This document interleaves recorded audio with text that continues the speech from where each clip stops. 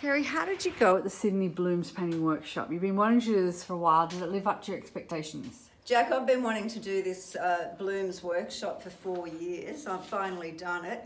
Absolutely lived up to my expectations. It's the best thing I've done for many years. In fact, I went to an art school a few years ago for two years and didn't receive the kind of instruction I've received here for four days from Jack. Oh, thank um, you. The Blooms method is absolutely brilliant, easy to follow, clear instructions from the teacher Jacqueline, and I would recommend this course for anybody wanting to uh, step into the creative realm.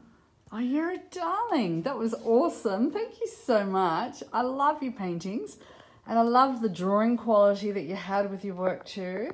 I mean, you want to learn blooms, which is about getting that finish, but you've also got you, you can play now. You've got you got both. So well done. Well, I think with you, Jack, you've given me the courage to actually uh, become more loose in painting because I was too detailed and too. Um, uh, too tight with my painting and this weekend you had this, these last four days you've actually given the instruction you've given me but the encouragement has helped oh. me open up with my art, with my oh, painting. Thank been, you so much. Oh, it's been a pleasure, Kerry. So. And not only are you professional, but you're such a fun lady, and uh, uh, you nurture all your students, not just me. Oh. Thank you so much. Show us your hand. I didn't realise you had a tat on your hand. What does it say? I haven't.